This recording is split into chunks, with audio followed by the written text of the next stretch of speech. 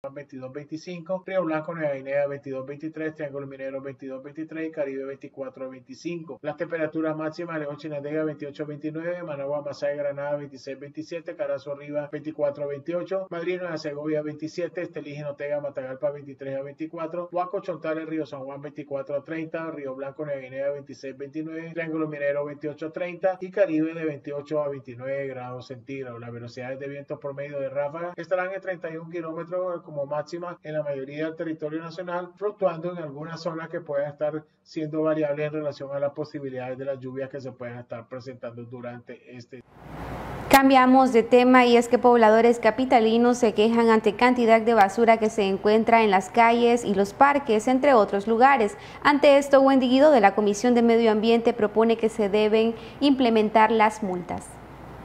La basura en el país se ha convertido en una problemática. En Managua se puede apreciar en los diferentes lugares el problema de dicha basura, por lo que se les recomienda depositarla en su lugar. Wendy Guido de la Comisión de Medio Ambiente de la Asamblea Nacional afirma que se deben de crear leyes en las que se apliquen multas. En otros países como Costa Rica eh, se han implementado multas y eso ha ayudado que la población tenga una conciencia de no tirar la basura porque van a tener eh, una multa a eso y eso les va a generar. Entonces, eh, sería bueno concientizar a la población y a lo mejor sí hacer multas dependiendo de la cantidad de basura que las personas tiren para que tengan conciencia de cuidar, porque este ambiente es de nosotros y esta educación se debe hacer a todos los niveles, desde el hogar hasta los colegios, poder permitirle a los jóvenes tener la educación y a los niños, por supuesto, de no tirar la basura. ¿Por qué? Porque nuestro medio ambiente lo estamos ensuciando y somos nosotros parte de él.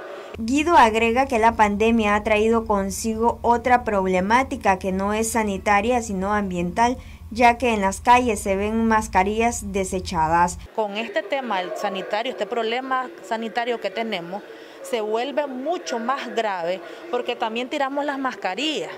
Y estas mascarillas tal vez puede ser que las personas están infestadas y vas a ver un montón de mascarillas tiradas y se vuelve feo, desagradable tener que estar insalubremente en lugares y en calles que la gente está produciendo la gran cantidad de basura sin medida, porque no hay una multa y no hay conciencia pues de, de cuidar nuestro medio ambiente. Entonces hay que instar a la población a que este nuestro ambiente lo queramos tener limpio, eh, poder respirar un oxígeno saludable, más con esta situación del COVID que vivimos y este problema sanitario que estamos enfrentando, debemos todos cuidarnos. Entonces hay que hacer conciencia eh, para esto y es cuidarnos todos y, y rehusar. En algunos supermercados ya se está ayudando a que el tema de la basura sea menos, porque en vez de usar unas bolsas plásticas, utilizan bolsas este, de tela de que se pueda reusar. Entonces son tipos de cosas que podemos ir implementando a la población desde casa y ayudar a este problema sanitario que se vuelve tan preocupante en nuestra sociedad nicaragüense. Noticias 12, Darlene Telles. Gracias, Darlene Telles, por tu reporte. Ministros de Defensa de El Salvador y Honduras envían un mensaje al ejército de Nicaragua por su aniversario número 42. Hermanos nicaragüenses, este 2 de septiembre, su glorioso ejército arriba a 42 años de servicio a la patria.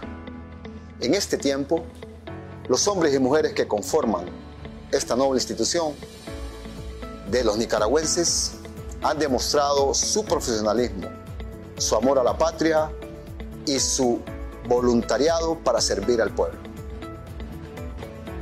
Al general Avilés, a todo el cuerpo de oficiales, generales, oficiales superiores, oficiales subalternos, personal de tropa y auxiliar, nuestra felicitación. Reciban de los hombres y mujeres que conforman las Fuerzas Armadas de Honduras ese saludo fraterno, reconociendo en ustedes las virtudes que todos los soldados demostramos por servir a nuestro pueblo y por defender a nuestros países. En estos 42 años nos sumamos a la alegría del pueblo nicaragüense y sabemos que seguiremos trabajando como dos países hermanos, como dos Fuerzas Armadas hermanas. Queremos enviar un cordial saludo de felicitación al Ejército de la República de Nicaragua por su 42 aniversario. Felicitamos al general Avilés Castillo, a sus oficiales, personal de tropa y personal auxiliar por este nuevo aniversario, deseando que siempre nuestro Dios le llene de muchas bendiciones. Felicitaciones, Ejército de Nicaragua. Llegó el momento de cumplir compromisos comerciales, pero ya regresamos con más de Noticias 12.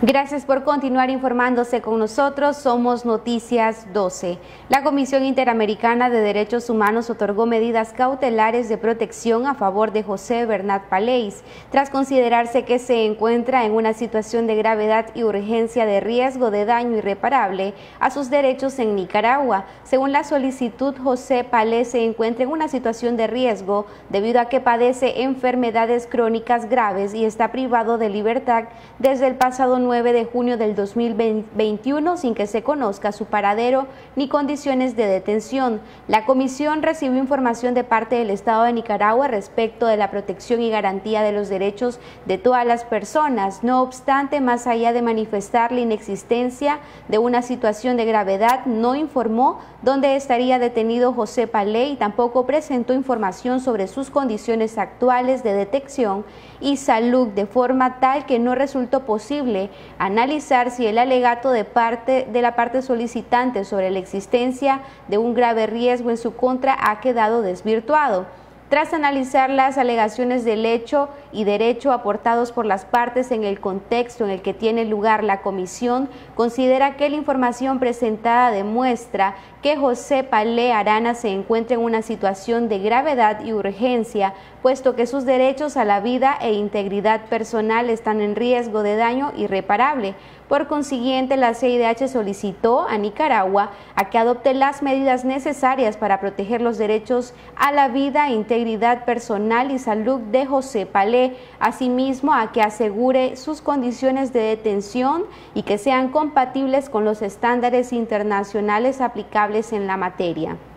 También tomando en cuenta la situación de riesgo de vida integridad personal y salud como resultado de las circunstancias que rodean su privación de libertad actuales, se evalúe inmediatamente la posibilidad del otorgamiento de medidas alternativas a la privación de la libertad de conformidad con su normativa interna y a la luz de los estándares internacionales aplicables. Asimismo, el informe sobre las acciones adelantadas a fin de investigar los presuntos hechos que dieron lugar a la detención de José Palé. Cambiamos totalmente de tema y es que a dos meses de las elecciones el PLC aún no concreta su plan de gobierno. Eh, hubieron algunos cambios, pero no fueron muy significativos. Obviamente, acordémonos de, después de la, renuncia del candidato a la presidencia, el Comité Ejecutivo y la Junta Directiva Nacional decidió inscribir a, a Walter Espinosa y su fórmula, doña Mayra Argüello. Ellos, eh, la fórmula que se inscribió, de, igual manera los candidatos a diputados de los departamentos, eh, no fueron cambios muy significativos desde el punto de vista de que se mantienen las listas, acordémonos que eh, las estructuras departamentales y municipales eligieron en elecciones primarias a sus representantes en los departamentos. Entonces, esto trae bastante legalidad desde el punto de vista que fue la gente la que escogió a sus representantes. Ya está hecho, casualmente el día sábado terminamos con el departamento de Rivas y Granada, y el domingo con la capital, con el departamento de Managua, donde eh, tanto la fórmula de Walter Espinosa y Mayra Argüello con la jefatura de campaña están haciendo un periplo de visita o hicieron un periplo que finaliza este fin de semana con los candidatos a diputados, propietarios y suplentes, los jefes de campaña departamentales, los encargados de control electoral, eh, los representantes de la juventud y de la mujer en los diferentes departamentos, donde ellos presentan su propuesta de gobierno y la población o nuestros candidatos y el equipo territorial presenta también sus objeciones, o sea, hacen propuestas. Y lo decíamos hace poco en, el programa del PLC, en el caso del Caribe Norte y Caribe Sur, al igual que en los demás departamentos, que cada uno de los territorios tiene sus propias características, ninguno se parece al otro, hicieron sus propuestas en base a la minería, en base a la pesca, que son eh, eh, prácticas y rubros muy, muy importantes y muy de, la zona. Entonces, cada departamento, al igual que en el norte, Matagalpa, Jinotega, Madrid, Nueva Segovia, Estelí, que es donde se da más la producción, la ganadería, entonces ellos hacen su propuesta de cara a, a estas actividades. Entonces, se ha hecho una consulta. Entonces, ellos presentan su plan y ahí se hacen las modificaciones o las propuestas que en base a esa consulta se hacen con los candidatos. Entonces no está definida. No está definido, pero yo creo que ya la próxima semana ya tenemos en específico el plan de gobierno de la fórmula Walter Espinosa y Mayra Arguello, que es la fórmula del PLC. Continuando con las informaciones, el sindicalista Pedro Ortega manifiesta que la diabetes, el estrés, el túnel carpiano, entre otras enfermedades, son las principales afectaciones que sufren las personas en el sector zona franca. Pedro Ortega del sector Zona Franca manifestó que la diabetes se ha disparado en dicho sector y que tienen sobre todo en personas que son mayores de 30 años, así como el estrés es otra afectación. Eso también ocasiona que el trabajador pues cada mes vaya a tratamiento, vaya a hacerse chequeos médicos y que también pues a la misma seguridad social le acarrea mayores costos. Esto porque no hay, bueno, me imagino una una eh, campaña para prevenir muchas enfermedades comunes. Pues otra enfermedad común que también se está dando son el estrés, el estrés emocional. Me imagino que se debe a la pandemia, ¿verdad? Que al hacinamiento que ha habido, los medios de protección que tienen que implementarse, pues, y, que esto es una realidad, pues, la pandemia son de las dos enfermedades comunes que se están incrementando en el sector de zona franca. Ortega agrega que también están otras enfermedades como el túnel del carpo y la lumbaria discal, entre otras. Sin embargo, afirma que se deberían de crear campañas de prevención. Hemos hecho algunos análisis y algunos estudios que se han realizado que aquel trabajador que tiene cinco años laboral en zona franca, ¿verdad? especialmente ya sean jóvenes o personas adultas, adquieren ya lo que se llaman túnel de carpio. Algunas empresas lo que están haciendo, ¿verdad?, es que cada tres horas a los trabajadores les dan cinco minutos para que se relajen y hagan algunos ejercicios manuales, pues, y que como una medida de prevención de que esta enfermedad no se siga eh, por una parte disparando. Sin embargo, pues el Instituto Nicaragüense de Seguridad Social no ha hecho una campaña de prevenir enfermedades profesionales ni una, eh, ni una eh, divulgación ¿verdad? De, cómo prevenir estas enfermedades profesionales, ni gráfica, ni televisiva, ni auditiva, y lo tal pues yo creo que también es el Seguro Social quien tiene pues que hacer campaña de prevención para que los trabajadores eh, prevengan esta enfermedad y también al Seguro Social no acarreen grandes costos cuando los trabajadores por una enfermedad profesional o común que se pueden evitar incurren en gastos como son los subsidios y reposo y que eso viene a ser un gasto a la seguridad social. Noticias 12 Darlene Telles. Ángel Flores, director de la Fundación Azul Esperanza, afirma que cada día se están diagnosticando a más niños con autismo y que el país no es la excepción. Ángel Flores, director de la Fundación Azul Esperanza, manifestó que la discapacidad por autismo se está dando con mayor frecuencia. Esta discapacidad es una afección relacionada con el desarrollo del cerebro que afecta la manera en la que la persona percibe y se asocia una con otras personas, lo que causa problemas en la interacción social y comunicación. Nosotros actualmente en el país no tenemos estadísticas como tal, solo contamos con las estadísticas que han hecho en otros países, pues, eh, que están un poco más desarrollados que nosotros en ese tema, pero se calcula que, por ejemplo, dos de cada 68 partos eh, están teniendo eh, niños que presentan características de autismo, ¿verdad? Y esto es preocupante. Eh, la verdad es de que el autismo es una condición de vida, eh, no es una enfermedad. Así que esta persona va a tener esta condición toda la vida y tenemos que tomar todas las medidas pertinentes para que ellos reciban la estimulación que van a necesitar en un futuro y puedan desarrollarse al máximo, ¿verdad? En todas sus habilidades, que puedan integrarse a lo que es la educación regular, porque ese es un gran desafío que tenemos nosotros como centro, como fundación actualmente, que estos niños tengan las mismas posibilidades educativas que tienen todos nuestros otros niños. Flores dio a conocer cómo se debe de detectar el autismo. Es muy importante, es crítico que se haga un diagnóstico temprano. Así que los padres deben estar alertas, muy pendientes de lo que son los hitos del desarrollo infantil. En sus niños, a los dos añitos, el niño ya tiene que comenzar a decir sus primeras palabras. Si el niño no habla, por favor, no se queden esperando escuchando a muchos rumores, creencias que tiene la gente, ¿no? De que va a hablar cuando tenga cuatro, va a hablar cuando tenga cinco, va a poder ir al baño cuando tenga cinco o seis años, no es correcto, ¿verdad? Que nosotros vemos una situación en la que nuestro niño va un poco desfasado o atrasado en su desarrollo normal, a como hemos visto tal vez en un sobrinito, en un primito que tenga, en alguno de sus hermanitos, en el caso que tengan hermanos y vemos de que está un poquito retrasado en su desarrollo, busquemos organizaciones como Fundación Azul Esperanza, busquemos profesionales en el área de la psicología, ¿verdad? Buscamos neurólogos, pediatras, que puedan ayudarnos a entender qué es lo que está pasando y actuar de manera temprana, porque lo que se ha demostrado, lo que nos ha enseñado la investigación y la experiencia profesional, es que cuando se interviene a una persona con autismo y recibe estimulación terapéutica temprana, logra avanzar muchísimo más y tener más éxito en su futuro. Noticias 12, Darlene Telles. Gracias, Darlene, por tu reporte. Ahora con información de carácter internacional, al menos 160 personas murieron, entre ellas 13 soldados estadounidenses, en el doble atentado suicida reivindicado por un grupo de yihadistas del Estado Islámico en el aeropuerto de Kabul, un ataque que multiplicó la angustia a pocos días de que terminen las evacuaciones de miles de extranjeros y afganos que quieren huir del nuevo régimen talibán.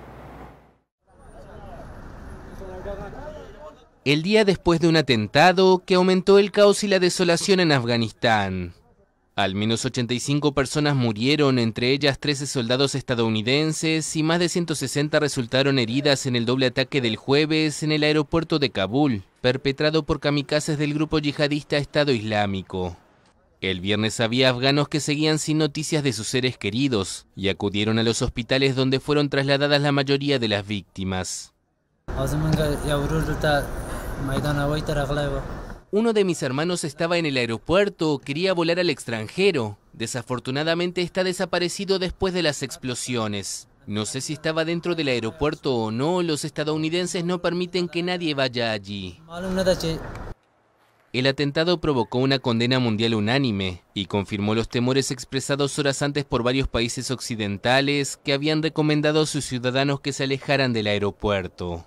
Bajo el nombre de Estado Islámico Khorasan, el grupo yihadista ha reivindicado algunos de los ataques más sangrientos perpetrados en Afganistán en los últimos años.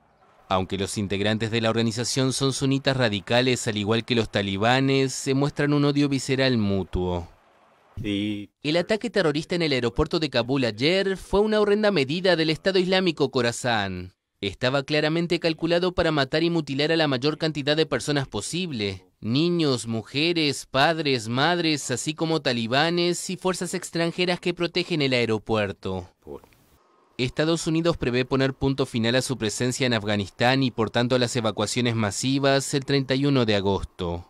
Hasta ahora más de 100.000 personas lograron salir del país desde mediados de mes. Con la fecha límite acercándose, varios países ya decidieron el fin de sus vuelos de repatriación. Y siempre en este mismo tema, el presidente Joe Biden prometió el jueves represalias contra los autores de los atentados suicidas que mataron a 13 militares estadounidenses en Kabul y dijo que Estados Unidos continuará evacuando a miles de civiles. El presidente estadounidense Joe Biden lanzó una advertencia contra los autores de los atentados suicidas que el jueves mataron a 13 militares estadounidenses en Kabul. Para aquellos que llevaron a cabo este ataque, así como para cualquiera que desee daño a Estados Unidos, sepan esto, no perdonaremos, no olvidaremos, los perseguiremos y les haremos pagar. El mandatario ofreció un solemne discurso a la nación desde la Casa Blanca luego de que el grupo yihadista Estado Islámico se atribuyera el atentado cerca del aeropuerto de Kabul. y aseguró que Estados Unidos responderá con fuerza y precisión. Biden confirmó también que la misión de evacuación de Kabul continuará hasta el próximo martes 31 de agosto, fecha en que se prevé la retirada final de las tropas militares estadounidenses. Estos terroristas del grupo Estado Islámico no ganarán. Rescataremos a los estadounidenses allí. Sacaremos a nuestros aliados afganos y nuestra misión continuará. Estados Unidos no será intimidado. Dos explosiones golpearon la zona próxima al aeropuerto de Kabul, según el Pentágono. Una explosión se produjo cerca de Abbey Gate, una de las puertas de acceso al aeropuerto. La otra fue cerca del Hotel Baron a 200 metros de distancia. Biden dijo además no tener indicios de que los talibanes se confabularan con los militares del Estado Islámico para realizar el mortal atentado. Según reportes, el grupo Estado Islámico Khorasan, el brazo afgano de la organización yihadista, es rival de los talibanes también. Ahora nos vamos hasta México, donde unos 300 manifestantes bloquearon el paso y mantuvieron retenido por más de dos horas este viernes el vehículo que se trasladaba el presidente de México, Manuel López Obrador, en el sureño estado de Chiapas, impidiendo ofrecer su acostumbrada conferencia matutina. Poderme comunicar con ustedes en una situación Andrés Manuel López Obrador no pudo ofrecer su habitual conferencia de prensa matinal. El vehículo en el que viajaba el presidente de México fue retenido el viernes por más de dos horas en el sureño estado de Chiapas por un grupo de unos 300 manifestantes, en su mayoría miembros de la Coordinadora Nacional de Trabajadores de la Educación, además de personal del sector salud y otros colectivos. El mandatario pretendía ingresar a un cuartel militar donde preveía realizar una reunión de gabinete y la conferencia. Nos eh, impidieron la entrada bajo la condición de que teníamos que atenderlos de inmediato y resolverles eh, sus demandas.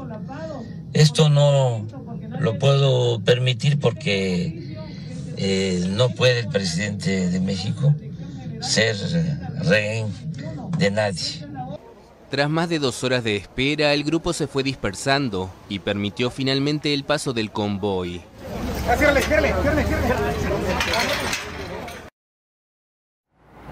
Continuando con las informaciones, en Ciudad Juárez varios migrantes de origen cubano expresaron su preocupación por el anuncio de la reinstauración del programa estadounidense Quédate en México, que permitió que decenas de miles de solicitantes de asilos, en su mayoría de Centroamérica, fueran enviados de regreso a sus fronteras.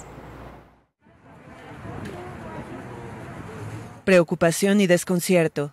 Esos son los sentimientos de los migrantes cubanos que esperan respuesta de las autoridades migratorias estadounidenses en la fronteriza Ciudad Juárez, en México. La Corte Suprema de Estados Unidos reinstauró una política migratoria que obligaba a los solicitantes de asilo a esperar en México su cita ante tribunales. La medida había sido suspendida por el presidente Joe Biden. Después de tanta espera nos dieron una esperanza y ahora todo se, nos vino abajo, todo, con esta noticia. Impulsado por el expresidente republicano Donald Trump, el programa Quédate en México permitió que decenas de miles de solicitantes de asilo, en su mayoría de Centroamérica, fueran enviados de regreso al lado mexicano de la frontera. El gobierno de México dijo el miércoles que en apego a su política exterior no se posiciona con respecto a la decisión de la Corte Suprema estadounidense de reinstaurar el programa. Y estamos locos por, pasar, que, que nos den esta oportunidad, que nos ayuden, por favor. Varias personas acudieron en busca de apoyo a las oficinas de la Agencia para los Refugiados de Naciones Unidas. Lo que ha generado en algunas personas que todavía estaban esperando aquí es pues, un nuevo momento de incertidumbre, eh, siendo que pues, ya habían ingresado a los Estados Unidos, habían sido retornados a México y pues actualmente eh, todavía estamos en un momento en que está por definirse cuál habrá de ser su, su situación. El número de detenciones de personas sin documentos, incluidos menores no acompañados, batió un récord de 15 años en abril pasado en la frontera entre Estados Unidos y México. De las más de 178.600 personas interceptadas, el 82% venía de México y Centroamérica. Para contener la migración ilegal, el gobierno mexicano tiene desplegados a más de 27.000 miembros de las Fuerzas Armadas en sus fronteras sur y norte. Ahora nos vamos hasta Perú, donde el Congreso, dominado por la oposición derechista, suspendió la noche del jueves hasta el viernes el debate para conceder o denegar un voto de confianza al gabinete ministerial del presidente de izquierda, Pedro Castillo. Suspensión del debate sobre el voto de confianza al gabinete presidencial en Perú. Luego de unas 11 horas de sesión, el Congreso peruano, dominado por la oposición derechista, postergó la noche del jueves el debate que permitiría que el gabinete ministerial del presidente Pedro Castillo siga en funciones. La sesión se reiniciará el viernes con la intervención de los 30 legisladores que aún faltan por participar antes de dar paso a la importante votación. Esta es la primera prueba para el gobierno de Castillo, quien asumió hace un mes. Varias designaciones son cuestionadas por la oposición, entre ellas la del jefe de gabinete Guido Bellido, quien inició su exposición de casi tres horas en quechua y aymara, lenguas ancestrales que también son oficiales junto al español. Esto llevó a la jefa del Congreso, María del Carmen Alba, a interrumpirlo y pedirle que hablara en español solamente para que la totalidad de los 124 legisladores presentes pudieran entenderlo. Esto es una muestra de que aún todavía nuestro país no ha entendido que hay pueblos profundos que tienen cultura, que tienen idioma. Mientras afuera del Congreso, decenas de manifestantes a favor y en contra del gobierno eran contenidos por la policía. Estamos a favor porque es la auténtica representación del pueblo a través de ese gabinete. Espero que no le den el, voto de confianza, porque ese es, un es un séquito que todavía es un remanente del sendero luminoso. La reñida campaña del balotaje y los cuestionamientos a varios ministros han elevado la tensión en Perú, haciendo subir el dólar y caer la bolsa. El respaldo a Castillo cayó 38% en su primer mes frente al 53% que tenía antes de asumir el 28 de julio, según un reciente sondeo. Llegó el momento de realizar nuestra segunda pausa comercial, pero ya regresamos con más de Noticias 12.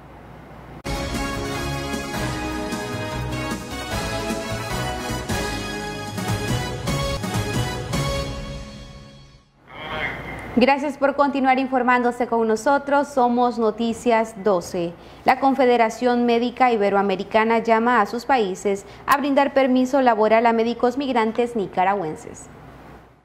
La Confederación Médica Iberoamericana y del Caribe, a través de un comunicado, expresaron su respaldo a los médicos nicaragüenses que han tenido que abandonar el país. En la misiva hicieron un llamado a sus países miembros a brindar los permisos laborales para que los galenos nicaragüenses continúen ejerciendo la profesión en el exterior de acuerdo a las normas vigentes de cada país. La misiva expresa que esta medida se hará mientras se resuelve la crisis sociopolítica en Nicaragua. La declaración de COFEMEL surge tras una reunión realizada por Zoom en la que participaron colegios médicos de Honduras y Costa Rica, así como representantes de Amnistía Internacional y médicos nicaragüenses. En la reunión también se abordaron la situación de los trabajadores de la salud, especialmente los que están siendo objeto de presiones por parte del gobierno, y también se desarrolló el tema del cierre de más de 12 organizaciones médicas y científicas, a las cuales se les retiró la personería jurídica y se les confiscaron sus bienes. Para Noticias 12, Gabriela Solórzano. Continuando con más, Estados Unidos mantiene alerta máxima de salud por el COVID-19 en Nicaragua, así lo dieron a conocer mediante un comunicado. La Embajada de Estados Unidos en Nicaragua emitió una nueva nota de prensa donde aseguran que mantienen la alerta 4 de salud por COVID-19 para el país. La misiva asegura que los medios nicaragüenses informaron sobre el aumento de los casos de COVID-19. Es por esto que la embajada insta a los ciudadanos estadounidenses en Nicaragua a permanecer atentos y seguir las pautas de salud pública para evitar el riesgo de infección que incluyen el uso de mascarilla, el lavado constante de manos, mantenerse a seis pies de distancia, evitar las multitudes y los espacios mal ventilados, vacunarse cuando esté disponible y quedarse en casa si se puede. Agregan que el gobierno de Nicaragua está ofreciendo algunas oportunidades de vacunación a los residentes de Nicaragua, incluyendo a ciudadanos de Estados Unidos en Nicaragua. Continuarán dando prioridad a las personas que se encuentren en los grupos de edades apropiados o en riesgos de enfermedades graves. El comprobante de residencia consiste en su cédula nicaragüense y para obtener más información la embajada llama a comunicarse con las autoridades sanitarias locales. Para Noticias 12, Gabriela Solórzano. Cambiamos de tema y es que productores se encuentran con buenas expectativas para este ciclo cafetalero. Según Juan Ramón Obregón, quien es productor cafetalero, espera que este año se cosechen alrededor de unos 3.6 millones de quintales de café. El diputado y productor cafetalero Juan Ramón Obregón dio a conocer que para este año se espera una cosecha de entre 3.6 a 3.7 millones de quintales oro. La producción ha ido creciendo a partir de todo el apoyo que ha recibido principalmente el pequeño y mediano productor.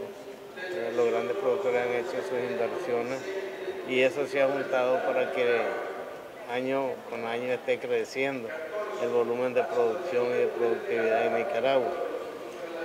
Por otro lado, el, mercado de este año, producto de una serie de factores o elementos foráneos, hay toda una expectativa con los precios.